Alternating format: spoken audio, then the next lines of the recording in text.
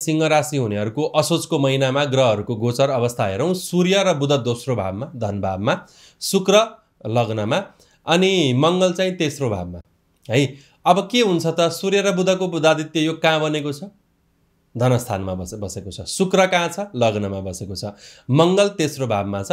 गुरु चाण्डाल चाहिँ भाग्यको घरमा नवौँ भावमा छ। सो सिंह राशि हुनेहरूको लागि चाहिँ त्यति खासै राम्रो समय चाहिँ होइन। है खतमै पनि होइन किनभने शुक्र लग्नमा छ होइन? बुध धनमा छ होइन? तर अब गुरु चाण्डाल नवौँमा परिगयो। हुन चाहिँ गुरु बलियो हुन्छ त्यति खासै बिगार्न त सक्दैन। तैपनि सूर्य धनस्थानमा छ। त्यसो हुनाले समग्रमा हेर्दाखेरि चाहिँ यो सयमा लगभग पचास या पचपन्न नम्बर दिने खालको महिना हो सिंह राशि हुनेहरूको लागि चाहिँ। अब यसको फल म बताइदिन्छु। सूर्य धनस्थानमा छ। धनस्थानगतै सूर्य धननाशम अहर्निशम। सूर्य भनेको तातो ग्रह तपाईँको धनमा गएर बस्ने बित्तिकै के हुन्छ यसले? तपाईँको धनमा ताप पर्यो नि। धन खर्च भएन।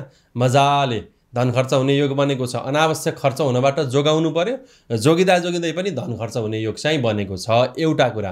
अर्को कुरो चाहिँ दोस्रो घरबाट हामीले आँखा पनि हेरिन्छ। अब आँखामा गएर सूर्य बस्ने बित्तिकै के हुन्छ? ड्राइनेस आँखामा समस्या चिलाउने फरफराउने सुक्खापना आँखा विशेष गरी जोगाउनु पर्यो। दोस्रो घरबाट हामीले मुख पनि हेरिन्छ सूर्य भनेको तातो ग्रह। तपाईँको मुखबाट अलिकति तातो या खरो बोली निक्लिन सक्छ र यसले के गर्छ? पारिवारिक जीवन अथवा चाहिँ पब्लिक रिलेसन बिगार्न सक्छ। बोलीमा ध्यान दिनु पर्यो। सूर्यको कुराहरू चाहिँ यिनै हुन्। तर बुधले के गर्छ? धेरै हदसम्म कन्ट्रोल गर्छ। धने बुद्धिमान बोधने बहुतेजा। धनस्थानमा गएर बुध बसेको अवस्थामा मान्छे के हुन्छ? बुद्धिमान हुन्छ। बुध त शुभ ग्रह हो। धनस्थानमा गएर बस्यो। बोधने बहुतेजा स्मरण शक्ति एकदम बढेर जान्छ। यदि तपाईँको जन्मकुण्डलीमा बुध निच या खराब छैन भने भनेपछि सूर्यले जो अलिकति धन खर्च गर्ने खालका कुराहरू ल्याएको थियो बुधले केही हदसम्म कन्ट्रोल बनाइदियो किनभने तपाईँको अलिकति बुद्धि होइन। मैले धेरै खर्च चाहिँ गर्नु हुँदैन है। क्यालकुलेसन गरेर खर्च गर्नुपर्छ भन्ने चिज आयो नि त। भनिसकेपछि बुध के छ? बुध सपोर्टिभ छ। अब हामी शुक्रमा जाउँ। शुक्र लग्नमा बस्नु भनेको चाहिँ निकै राम्रो। हुन चाहिँ सिंह राशिमा शुक्र त्यति राम्रो मानिँदैन होइन? अब सिंह राशि भने सिंह राशिको स्वामी चाहिँ सूर्य हो शुक्र भनेको चाहिँ राक्षसहरूको गुरु हो। सो सिंह र शुक्रको सम्बन्ध त्यति राम्रो छैन। तैपनि अब शुक्र के छ? लग्नमा छ। लग्नमा शुक्र बसेको अवस्थामा के हुन्छ? समीचीन मङ्ग समीचीन सङ्ग। समीचीन कर्मा समीचीन शर्मा। समीचीन मङ्ग रोग व्याधहरू हटेर जाने शरीरमा फ्रेसनेस फुर्ती। समीचीन सङ्ग सङ्ग भनेको सङ्गत। कम्पनी अथवा तपाईँको पार्टनरसिप समीचीन एकदम राम्रो राम्रा राम्रा मान्छेहरू चिन्ने फ्रेन्डसिप हुने पार्टनरसिप बढ्ने सम्भावना आयो। समीचीन कर्म अब राम्रा मान्छेहरूसँग भेटिएपछि के हुन्छ? समीचीन कर्म। तपाईँको काम पनि राम्रो हुन्छ। काम राम्रो गरेपछि के हुन्छ? समीचीन शर्मा। त्यसको रिजल्ट पनि राम्रो आउँछ। तपाईँलाई शर्म भनेको आनन्द। संस्कृत भाषामा शर्म शब्दको अर्थ हुन्छ आनन्द। भनिसकेपछि लग्नमा बसेको शुक्रले सिंह राशिका मान्छेहरूलाई के दियो?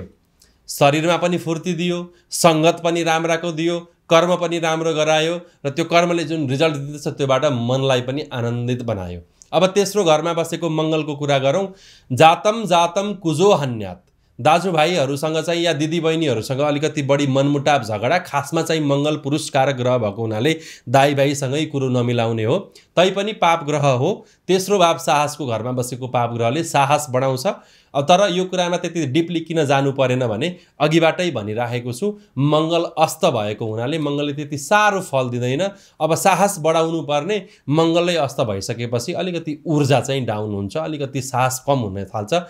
घटाउँछ एकदम पुरै मोरल डाउन अथवा चाहिँ कन्फिडेन्टको लेभल पुरै तल झार्छ भने होइन। तर मङ्गल आफै कमजोर भएको हुनाले साहसको घरमा बसेको मङ्गलले के गर्छ तपाईँको ऊर्जालाई केही न केही कम बनाउँछ यो कुरामा चाहिँ ध्यान दिनु पऱ्यो अब गुरु चाण्डाल योग नवौँ भावमा छ। नवौँ भाव भनेको भाग्य हो। हुन चाहिँ कालपुरुष कुण्डलीमा नवौँ भाव भनेको गुरुको घर हो होइन? धनु राशि गुरु बलियै हुन्छ। तैपनि चाण्डाल योग बस्दाखेरि चाहिँ के हुन्छ? राहु नवौँ भावमा त फेरि कालपुरुष कुण्डलीमा या नवौँ राशिमा के हुन्छ? राहु निच हुन्छ।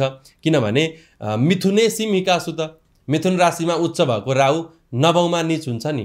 भनेपछि नवौँ भावको राहु त यहाँ निच राहुको निचता बढी भएको हुनाले अलिकति भाग्यमा चाहिँ भनौँ न हुन हुने बेलामा काम बिग्रिने। अथवा चाहिँ अब भइसक्यो भन्ने बेलामा काम बिग्रिने नाम निस्क्यो भन्ने बेलामा चाहिँ भुल सुधारमा चाहिँ नाम निक्लेन रे भन्ने पाएँ भन्ने बेलामा ल्या भएन हो यो कुराहरू आउन सक्छन्। अब यसको लागि के गर्नु पर्यो? भाग्यमा भएको गुरु चाण्डाल योग शान्तिका लागि चाहिँ के गर्नु पर्यो? गुरुको उपासना गर्नु पर्यो। बृहस्पतिबार बिहिबारका दिन चाहिँ तपाईँले ओम नमो भगवते वासुदेवाय द्वादशाक्षरी मन्त्र यो जाप गर्न सक्नुहुनेछ। विष्णु पूजा लक्ष्मी पूजा यी कुराहरू गर्न सक्नुहुन्छ। या राहुलाई सपोर्टिभ बनाउनका लागि ओम राम राहवे नम यो मन्त्र पनि जप्न सक्नुहुनेछ। शिवजीको दर्शन या भैरवको दर्शन यो कुराहरू गर्न सक्नुहुनेछ र धनस्थानमा बसेको सूर्यले जुन धननाश गराउँछ त्यसको लागि चाहिँ तपाईँ आफै पनि संयमित हुनु पऱ्यो कि म अनावश्यक कुरामा खर्च गर्नु भएन भनेर र सूर्यको शान्तिका लागि चाहिँ तपाईँले तामाको भाँडामा राखेको पानी पिउने या सूर्यलाई चाहिँ तामाको भाँडाबाट अर्घ दिने यी कामहरू गर्नु पर्यो समग्रमा सिंह राशि हुनेहरूको लागि चाहिँ सूर्य कमजोर र गुरु चाण्डाल योगले अलिकति खराब योग बनाएको छ तर बुध र शुक्र निकै राम्रो सो सिंह राशि हुनेहरूको लागि चाहिँ फिफ्टी फिफ्टी सयमा पचास नम्बर दिने खालको महिना रहनेछ।